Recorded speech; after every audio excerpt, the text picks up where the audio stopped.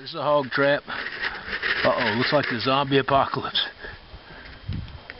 Gonna have to take care of this right now. Here we go.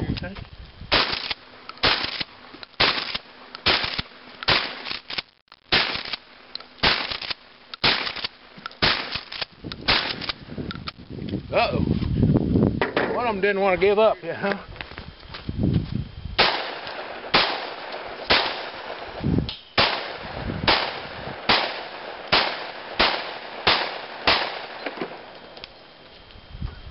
enough.